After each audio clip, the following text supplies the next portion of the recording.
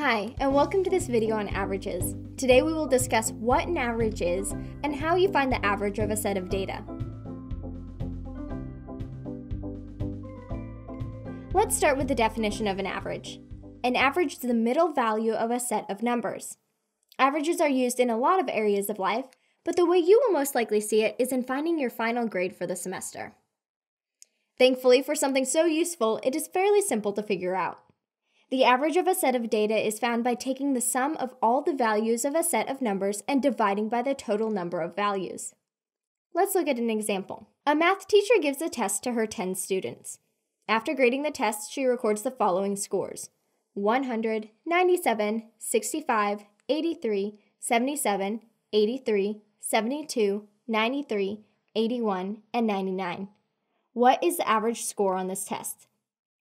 Remember, the average is found by adding all the scores up and then dividing by the total number of students. So our first step is to add all our scores up.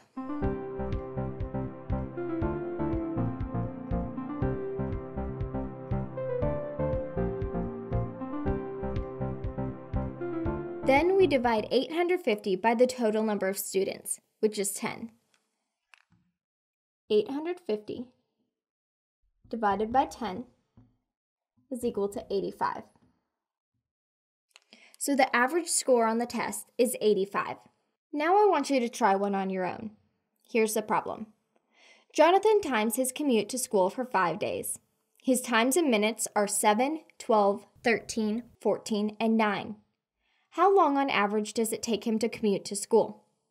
Pause this video and try to solve this on your own. Once you have your answer, press play and see if your answer matches up with mine. The first step in finding our average is to add all our values together.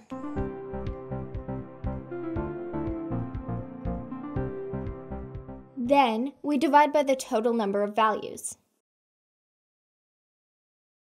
So the average time it took him to commute to school is 11 minutes. Before we go, let's look at one more way averages are commonly used. You can use an average to find a missing value in your data set.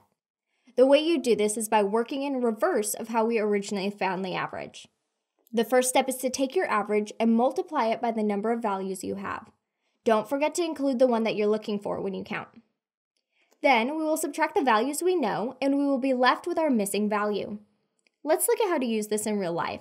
Sarah wants to get a 90 for her quiz average in her math class for the semester. Her current quiz grades are 88, 97, 86, and 92. What grade does she need to make on her last quiz to have a 90 average? First, we are going to multiply her desired average, 90, by the total number of values. We are given four grades and know she has one more quiz, so our total number of values is 5. 90 times 5 is equal to 450. Now, all we do is subtract the values we already know from 450.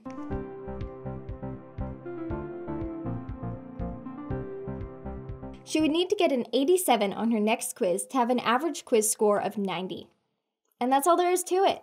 Remember, to find the average, all you have to do is add all your numbers together and then divide by however many numbers you have. If you want to find a missing number and you are given the average, simply work backwards. Multiply your average by the amount of numbers you have, including the one you are looking for, and subtract the values you already know. I hope this video helped you better understand how to use averages. Thanks for watching and happy studying.